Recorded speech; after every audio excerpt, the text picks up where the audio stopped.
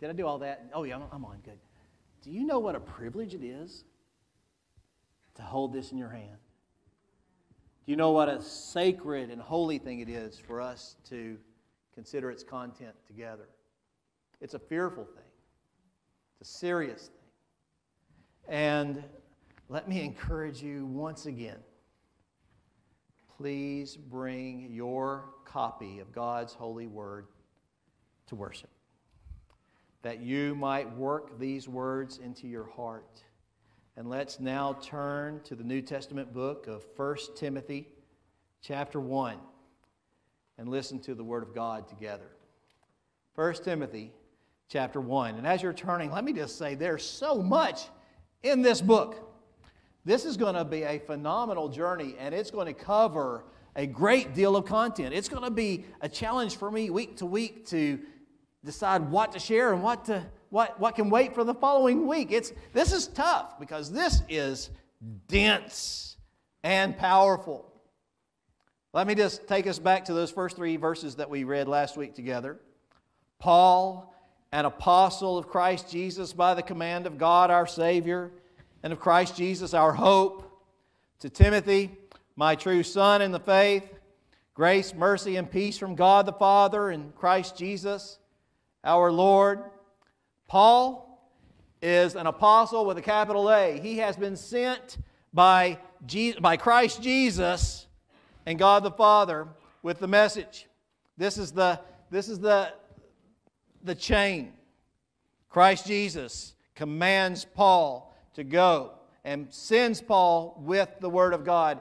And Paul goes with the Word of God, in this case, to, the to Timothy. Timothy. And to Timothy, it says, Grace, mercy, peace from God the Father and Jesus Christ, or Christ Jesus, our Lord.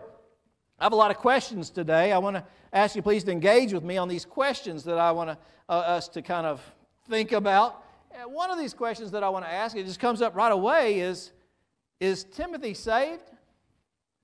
Yes, thank you very much. Timothy is saved. One person is convinced that Timothy is saved. Uh, please engage with me on these questions I want to ask you. Uh, that was not a hard one.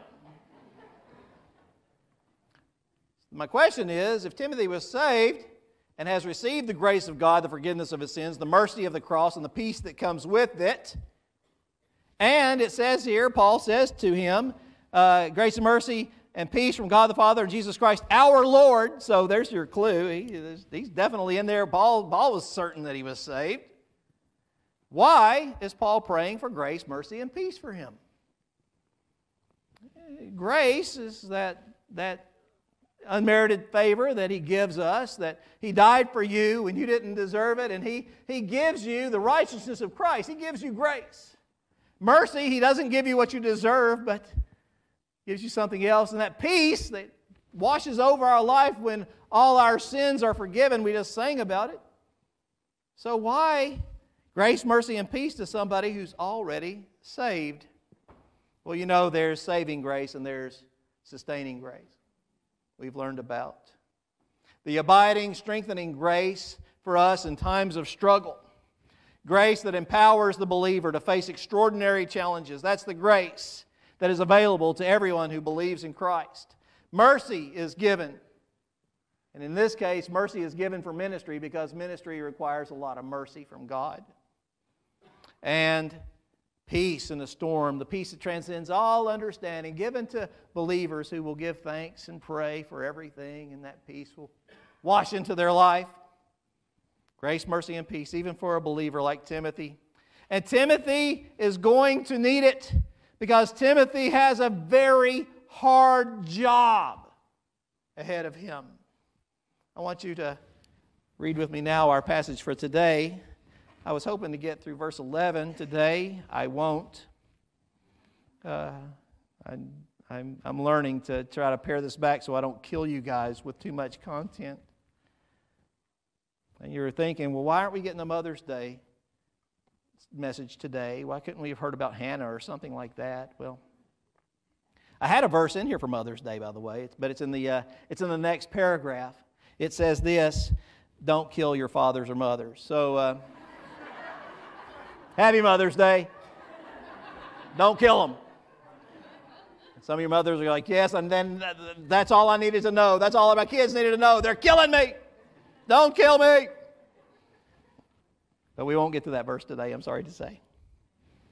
Verse 3 says, As I urged you when I went into Macedonia, stay there in Ephesus, so that you make a man certain people not to teach what? False doctrines any longer, or to devote themselves to myths and endless genealogies. Such things promote controversial speculations rather than advancing God's work, which is my faith. The, go- the goal of this command, this command to these teachers, these false teachers, and their devotees, the goal of this command is love, which comes from a pure heart and a good conscience and a sincere faith. Some have separated, um, some have departed from these and have turned to meaningless talk. They want to be teachers of the law, but they do not know what they're talking about or what they so confidently affirm. Let's pray. Lord, thank you for meeting with us today as we came to praise your name. Thank you, Lord, again for just how you love us and how you dwell with us and how you are with us now. God, help us not to understand that lightly. Help us not to make common this holy moment. God, help us to do the work to listen and learn and grow we pray, God, that your word will now be used by the Holy Spirit to great effect in changing our lives, changing our homes, changing this church that belongs to you. And God, we pray that through the message, gospel might be heard. And Lord, that people will give their life to you today surrendering themselves fully to you, Jesus Christ, as their personal Lord and Savior. Through the broadcast in this room, God, we just pray for salvation to take place. Breakthroughs. Maybe today is the last thing that needed to be heard, Lord, that last piece, so that somebody could be made free. So we pray that, Jesus, please. Holy Spirit, you're the only one that can do it. God, please. It's in the name of Jesus Christ, our Lord and Savior, we pray. Amen. I, uh, it says, I urged you, Paul the Apostle says, I urged you when I went into Macedonia, stay there in Ephesus. Stay there in Ephesus. As, as I look at the, the paragraph that we are dealing with today, honestly, I, the structure that we give, I, we begin with the perseverance problem. Perseverance problem. Stay. Have you ever been urged to stay somewhere where you really just didn't want to stay? Yeah? Yes, I, I see those nods. You, you ever been, you want to quit? Sometimes you just want to quit. Sometimes just like, I can't do this, God. I, I, I, I want to quit. Timothy's got a problem. The church at Ephesus now is, has become something new. It's become an established church, big church. A big church that started with a bunch of people giving their lives. I mean, sacrificing everything to make sure that the name of Jesus Christ grows in power and is known all throughout the province of Asia, we read in Acts chapter 19. This church is something else, but now it's become an established church.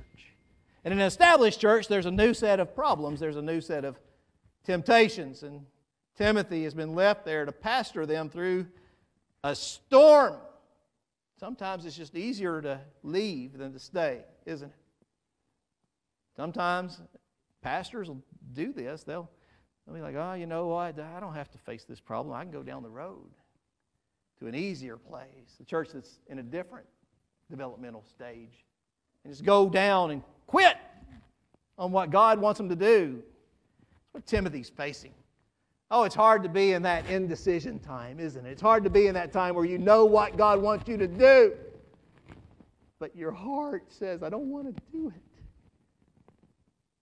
There's a clash between will and surrender and obedience. The clash. The clash. And that makes me think of a song. Should I stay or should I go now? Should I stay or should I go now? If I stay, there will be trouble. And if I go, there will be double. So come on and let me know. Should I stay or should I go? Blah, blah, blah, blah, blah, blah. Yep. The clash. the clash of will and obedience.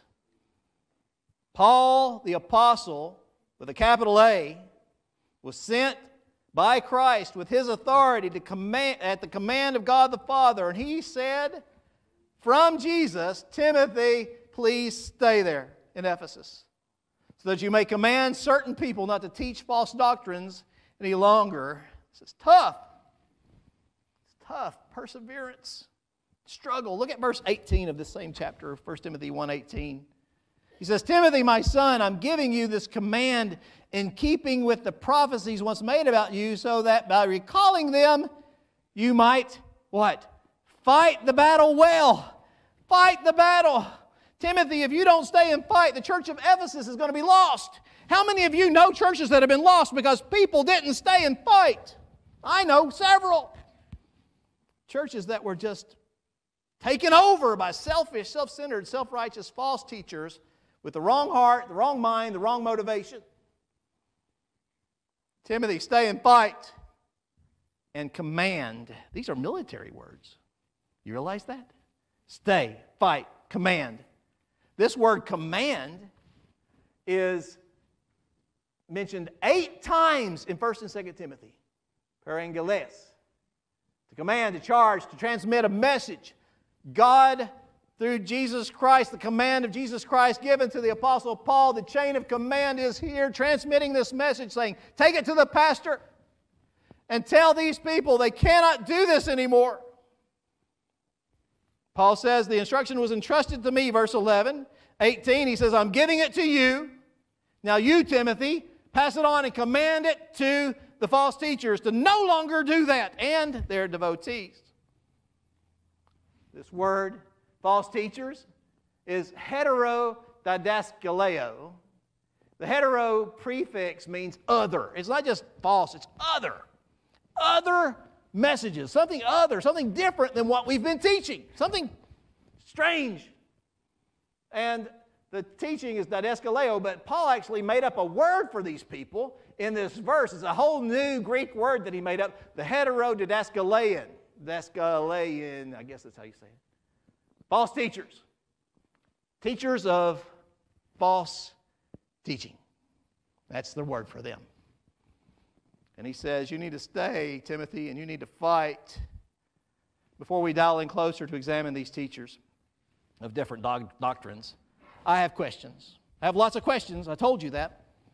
Here's another question Is this a private correspondence?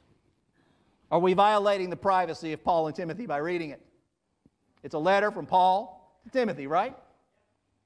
So are we meant to read it? I, you know, I, think I, I sometimes try to get inside your heads and wonder what you're thinking. Sometimes the look on your faces scare me. I'm like, oh, I don't know what that's all about. But if I was here last week, and honestly, I actually had this thought as, I, as we were approaching this book. If this is a pastoral epistle, uh, uh, instructions given to pastors and elders, then if I were you, I might have thought to myself, well, why don't the pastors and elders go read it? Why don't you study it and do what it says, and why are you bothering us with it? But it's not a private correspondence. If you look at the last verse of this book, the last sentence of this book, chapter 6, verse 21, it says, I love that sound. Woo. A lot of you have a lot of pages in 1 Timothy. My goodness. Wow!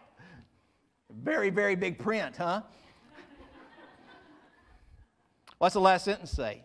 Grace be with you all. So, this is an open letter. It's a letter from Paul, the apostle, with a capital A, to Timothy, the pastor, but it's open for everyone. And we learn here that not only is this a letter that's open to everybody, but also it's Paul's from the South because he says you all instead of you guys. Grace be. And you South Carolina folks can appreciate that.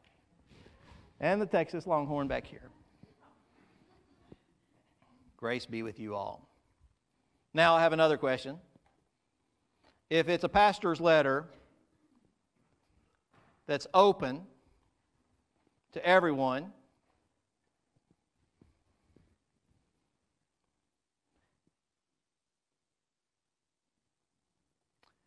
do you think it got the false teachers' of attention? That's our next. That's our next point as we go through the uh, as we go through the paragraph. Second question: boop, boop, maybe, maybe not. Boop, boop, boop. Number two: beep, bop, boop. All right, you give me a hard time. Number two: the certain people teaching false different doctrines problem. That's what we have. This is an open letter. And again, see the chain of command. Christ, by the command of God, gives to the Apostle Paul, who speaks to the pastor Timothy. And he says, Timothy, you need to command certain people. Doom, doom, doom. Pass it on. This is it. Teachers who teach differently, you need to command them. Do you think those teachers read this or heard this read in public in the gathering of the church and said, Oh, uh oh, uh oh, we might be in trouble. We need to do something. Sometimes it's astounding what we don't actually catch in church. Sometimes it's amazing. We, we just sit here and we think, I wish somebody else would have been here to hear that. That was really good. Oh, if so and so would have been here, boy, they, they really needed to hear that, Velma. Yeah? And we just don't let it sink in and take it to our own heart and go, What? That was for me. Guess what? This is for you and me. Some of these guys, even though they're, they're being spoken directly to, probably won't get it. Six years earlier, six years earlier, we read about it in Acts 20, 28. Paul met with the elders of the Ephesian church uh, in Miletus. He called them all together, had a big elders meeting of the elders of the Ephesian church, and Paul came off the ship and walked up there and he met with them. And he said this to them, among other things. He says, Keep watch over yourselves, you elders, and all the flock of which the Holy Spirit has made you. Be shepherds of the church of God, which he bought with his own blood. It's not your church, it's Christ's church. He bought it with his blood. You better be shepherds of that church. And he says, I know I know, look at the certainty of that. I know that after I leave, what's going to happen? Savage wolves will come in among you and will not spare the flock. I know this is going to happen. Verse 30 even from your own number, men will arise and distort the truth in order to draw away disciples after them. So be on your guard.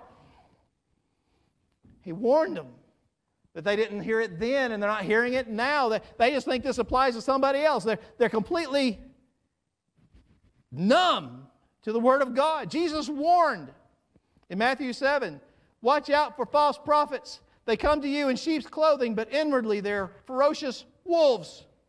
There are so many warnings in the Old Testament and New Testament about false prophets and false teachers. Peter, in 2 Peter chapter 2, verse 1, says there were also false prophets among the people, just as there, again, look at the certainty, will be false teachers among you. Here's another question.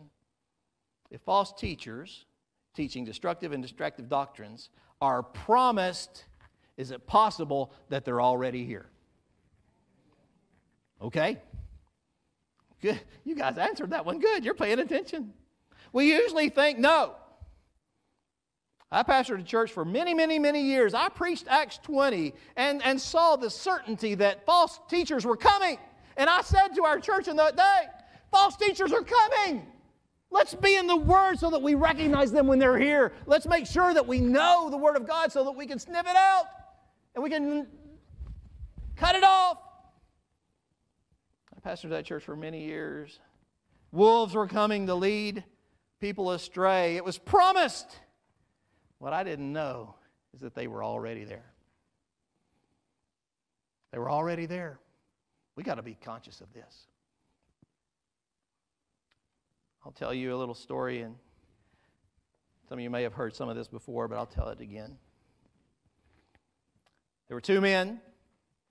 One was a deacon and a long-time a Sunday school teacher with a big class of adults, ages 60 something to 80 something. You know how, you know how everybody just won't graduate to the next class.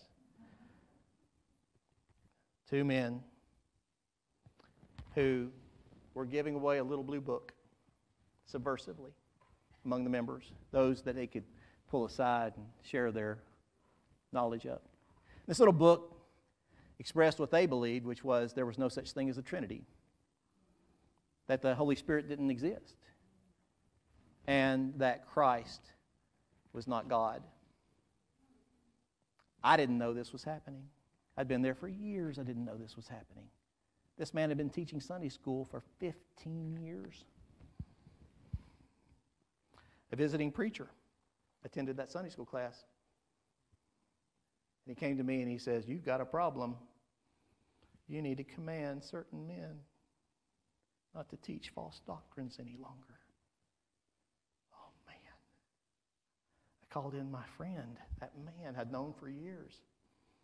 And I said, Tell me about your views on the Trinity, the divinity of Christ, and the Holy Spirit. And he goes, Well, I guess you got me.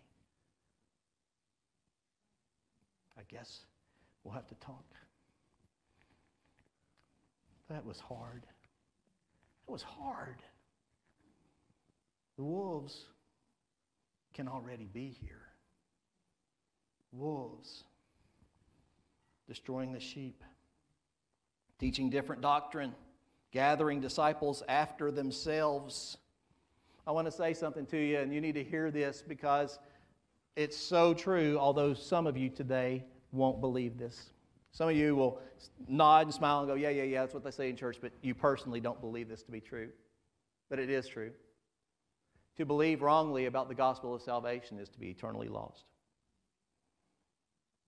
To believe wrongly about the gospel of salvation is to be eternally lost.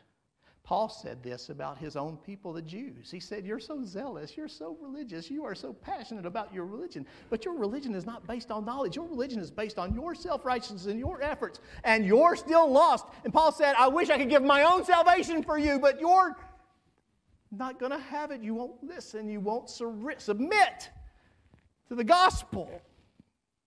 If you're wrong about the gospel, you're lost. And if a teacher comes along that, that, that gives you peace in your fallacy, in your, in your incorrectness, he secures you for hell. Wolves coming in to lead people astray. Those two men in that church that I pastored were millionaires. And they had a good friend that was homebound in our church who was also a millionaire, and all three of those millionaires left our church. Because I said, You can no longer you can no longer teach this. I thought to myself, are those three cats totally undergirding this church's finances? It scared me to death. Faith is hard. Faith is hard. I wanted to go to another church. Should I stay or should I? You know what happened? Those three families left the church along with a few others, and our offerings went up. We never felt it. We never felt it. Some trust in chariots and some trust in horses, but we trust in the name of the Lord our God. You can trust Him have faith and obey Him. The question, should we be alert to the possibility of false teachers, is absolutely. Not only should we be alert to the possibility of false teachers, we should be alert and aware of the promise of false teachers. They are coming, they might be already here. And some false teachers don't know that they're false teachers. Some false teachers don't know that they're false teachers. Some do. They're subversive and they have secret little things they do. But some don't know that they're false teachers. So let me ask you, teachers, talking to you now, If you are a teacher and leader in this church or another church, and we have some today that are ministry, and I'm so glad that God brought you here today, there's a reason. Are you readily in the change of the church command? There's a change. There's the Word of God by the command of Christ, given by God our Savior. There, there's the Word of God, and it comes down through the Word. There's no longer apostolic authority where some man can come along and say, I'm a capital A apostle. It's all here now, not to be added to or taken away from. Amen to that. It's all here, comes from God with all authority, and the pastors and the elders, they teach the Word of God, and they obey the Word of God, and they, they make sure that the church is growing in the Word of God. So, if you're teaching in this church, are you readily in the chain of the church command? Or are you more about building your class or your group and drawing disciples after yourself? That's what Paul warned them, the Ephesus elders in Miletus in Acts 20. He says, There's going to be some, even among your own number, they're going to draw disciples after themselves. Gonna, it's going to be about them, about me. Is that what you're doing? Maybe you're a false teacher and you don't know. Are you critical of church decisions and leaders, saying sarcastic and critical things to those who listen to you? You don't realize what you're doing is you're trying to carve out a following after yourself away from this body which we are all in together. Amen. Amen. Amen. Thank you. You're thinking about it. Teachers, ask yourself what are you teaching and why? Are you trying to impress with your, your nuanced knowledge, the new things that you're pulling out of passages? In Ephesus, it was myths and endless genealogies and speculations. Building theology in the gaps. You know, we, we know so much because God has revealed so much. It's solid truth. We can stand on it, uh, we can build on it. If a storm comes, we, we, we, we live on it, and the storm won't wash us away like those who don't live by the And they sand washes their house away. We, we know solid truth. But there's gaps. We have to admit there's gaps where we're like, eh, I don't know. Some people ask me questions about something, something nuanced or in between in a gap somewhere of what we know and what we don't know. I, I don't know, okay? We're not to build theology on the gaps, as many do. We build theology on the solid things, the rocks, the truth. Creation, six days. On the seventh, he rested. You know, we don't know if he drank lemonade. There's a lot of gaps there. We don't know what he did when he rested, you know. There's things that are speculation. But we know that he said, let's make man and woman in our image. There's the triune God from the very beginning when the Spirit hovered over the waters. Sin brought about a curse on all people, and that curse brought death and decay on the world. A Savior was promised, and that Savior is in every page of this book. Every bit of it points to Jesus Christ, our Savior, our Lord. He was promised, and He came, and He lived, and He died, and He rose again. He ascended to heaven. He Savior. And everyone who seeks forgiveness for their sins by confessing Christ Jesus as Lord will be saved. These things are true and indisputable. Different and other doctrines come from dwelling in the gaps speculations and myths, things that arise that are just, where did this come from? Things like purgatory. Where did that come from? Naming demons, claiming dominions. There are different teachings that come from sources that dwell in speculation rather than truth. There, there are books that are not authoritative, like the Apocrypha, good history, lots of myths. The Haggadah, the opinions of the rabbis and myths. Things where just building stuff in the gaps. Speculations, the pseudepigrapha, the false books, the, the books like the Gospel of Judas, the Gospel of Timothy. These are not Scripture. They're myths and speculations and endless genealogies. The Book of Mormon, the Quran. Both of those are ripoffs of what God did with Moses on Sinai. God met with Moses and gave him the law. And Muhammad came along and said, I'll go in a cave and let God give me a book too. And Joseph Smith went up on a hill and he said, I'll just play along and God will give me a book too. These are speculations, they're not truth. Galatians 1 6, the apostle says, in the power of the Spirit, in great zeal, he says, I'm astonished that you're so quickly deserting the one who called you to live in the grace of Christ and are turning to a different gospel, which is really no gospel at all. Evidently, some people are throwing you into confusion or trying to pervert the gospel of Christ. But if even if, look at verses 8 and 9, even if we or an angel from heaven should preach a gospel other than the one we preach to you, let them be under God's curse. As we've already said, and so now say again if anybody is preaching to you a gospel other than the one you accepted, let them be under God's curse. Verses 8 and 9 say the same thing, back to back verses. I don't know when that happens in Scripture other than that. The last four verses of the Bible begin with these two, verse, Revelation 22 18. I, Jesus says, I warn everyone who hears the words of this prophecy, the prophecy of this scroll. If anyone adds to them, God will add to that person the plagues described in this scroll. If anyone takes words away from this scroll of prophecy, God will take away that from that person any share in the tree of life and in the holy city which are described in this scroll. You just don't take anything away from this. You don't add anything to it. It's complete. The word of God. And Paul told Timothy in 1 Timothy 4:16, watch your life and doctrine closely. Watch your life and doctrine closely. So let's think about our lives. Teacher, are you humble? Are you humble, teachers?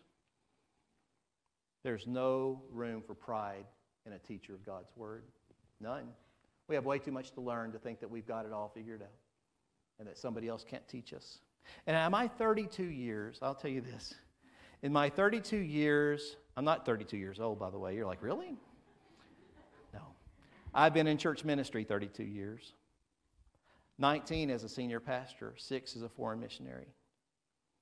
And I've never found a group more consistently unwilling to participate in training and further development of their skills than adult Sunday school teachers. They already know everything. Hey, let's have a Sunday school training. Let's get together and work on our skills. Yeah, I got that. I've been doing that for 30 years. I don't need no help you might be surprised how much help you need. And me too. In your teaching, teacher, are you focused on speculative things that promote controversies? Or are you focused on equipping your group for advancing God's work? That's the purpose of your group. That's the purpose of your teaching. To not focus on speculations but on advancing God's work. That word work means our stewardship, God's plan. Your group, your class is a trust from God, and your purpose for being there is to equip them with the gospel, encourage them to share it, and engage alongside with them so that they can feel comfortable doing it when you're not there. That's your role, Sunday school teacher. That's your role, church leader. Equip, encourage, engage to advance the kingdom of God. Be a soul winning class. That's your job. Not sitting around speculating. Well, I wonder about this. I wonder about that. Well, I just wonder. Uh, did you ever look at them genealogies? I heard a story once. Might be controversial. Well, then don't go there. Some teachers don't know that they're heterodidescaling. Some do. And they do secret things, intentionally leading people astray. Both are used by demons to hurt the church and the advancement, in the advancement of God's kingdom. And so the pastor is told to command false teachers not to do that any longer, and he command their devotees to devote themselves no longer to myths and endless genealogies and speculations. If you are a devotee of a teacher in this church, and I hope that's all of you, look at their life and look at their doctrine. Are they humble? Do they respond well to correction? Is there an air of conceit? If you look at chapter 6, verse 4, Speaking about these same people, it says they're conceited and understand nothing, have an unhealthy interest in controversies and quarrels. Is there an air of, dis- of conceit? Is their life and home godly, giving evidence that they're actually practicing what they're preaching, that they have genuine faith? 1 Timothy 1 7 here in our passage today says they want to be teachers of the law. They want to be teachers of the law. Okay? Now, we're, this church began with, with church planning. People, you know, Paul is working, he's building tents, uh, they're taking his rag, and people are getting healed by the rag. Uh, all kinds of crazy stuff is happening, but this is ground, earth, ground roots work of gospel sharing and, and, and training up people. This, this is beautiful, natural, but now it's become established, and all of a sudden there's positions and there's prestige and there's authority. And these guys who weren't there probably for the struggle of making this happen and putting their life on the line, now they want positions in the establishment. They want to be considered rabbis, they want to be considered teachers of the law. Mm. Look at me and become a disciple after me. Jesus said about these guys and people like them Everything they do is for people to, is done for people to see. They make their phylacteries wide and their tassels and their garments long. They love the place of honor at banquets and the most important seats in the synagogues. They love to be greeted with respect in the marketplace and be called rabbi by others. So look at their lives and look at their doctrine.